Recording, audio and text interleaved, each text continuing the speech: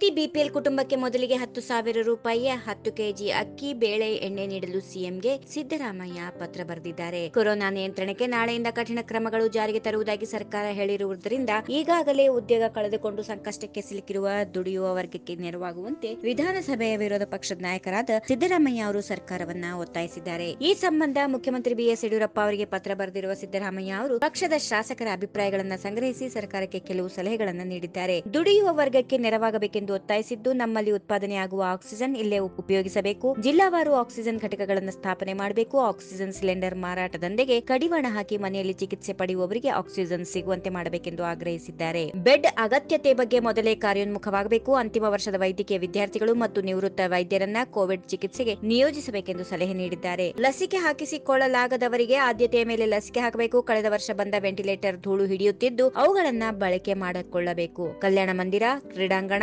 Hostel ಮೊದಲಾದವುಗಳನ್ನು ತಾತ್ಕಾಲಿಕ ಆಸ್ಪತ್ರೆ ಮಾಡಿ ಚಿಕಿತ್ಸೆಗೆ ವ್ಯವಸ್ಥೆ ಮಾಡುವಂತೆ ಸಲಹೆ ನೀಡಿದ್ದಾರೆ. ಬೆಂಗಳೂರಿನಲ್ಲಿ ಖಾಲಿ ಜಾಗ ಹುಡುಕಿಯ ಅಂತ್ಯಕ್ರಿಯೆ ನಡೆಸಬೇಕೆಂದು ಹೇಳಿದ್ದಾರೆ. ರಾಜ್ಯ ಸರ್ಕಾರ ತಿಂಗಳಿಗೆ ಹತ್ತು ಕೆಜಿ ಅಕ್ಕಿ ಜೊತೆಗೆ ಬೇಳೆ, ಅಡುಗೆ, ಎಣ್ಣೆ ಮುಂತಾದ ರೇಷನ್ ಕೊಡಬೇಕು. ಪ್ರತಿ ಬಿಪಿಎಲ್ ಕುಟುಂಬಕ್ಕೆ ಮೊದಲಿಗೆ ಹತ್ತು ಸಾವಿರ ರೂಪಾಯಿ, ನಂತರ ತಿಂಗಳಿಗೆ ಆರು ಸಾವಿರ ರೂಪಾಯಿ ನೀಡಬೇಕು. ಚಾಲಕರಾಗಿ ದುಡಿಯುವ ವರ್ಗಕ್ಕೆ ಹತ್ತು ಸಾವಿರ ರೂಪಾಯಿ ಕೊಡಬೇಕೆಂದು ಸಿಎಂಗೆ ಪತ್ರ ಬರೆದಿದ್ದಾರೆ ಸಿದ್ದರಾಮಯ್ಯ ಅವರು.